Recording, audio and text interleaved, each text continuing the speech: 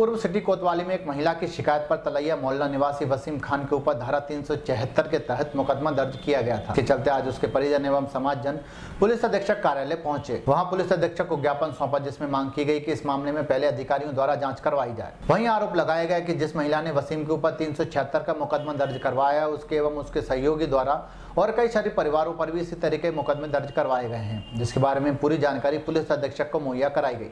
समस्या लेके आए थे, जो कि वसीम खान पे जो आरोप लगाए हैं, ये तीन सौ छिहत्तर के, ये गलत है। और सिटी कोतवाली में इसके लिए जो भी बोला गया है, ये गैंग है तीन सौ छिहत्तर के नाम की।